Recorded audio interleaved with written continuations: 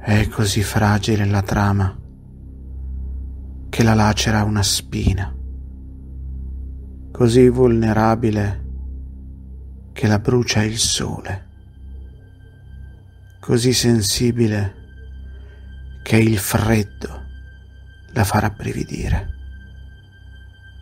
Però la mia pelle sottile percepisce la dolce varietà delle carezze e il mio corpo, senza di essa, sarebbe una piaga nuda.